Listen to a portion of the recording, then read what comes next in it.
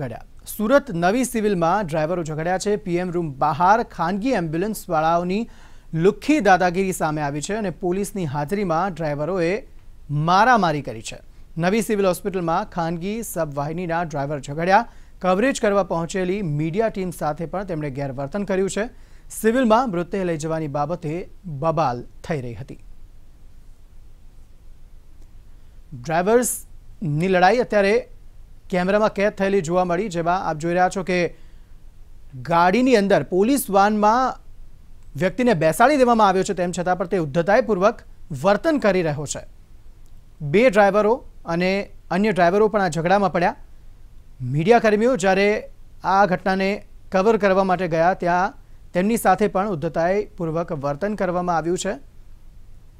અને હાલ આ શખ્સ જે છે તે તેની સાથે થયેલ ગેરવર્તનની વાત કરી રહ્યો છે.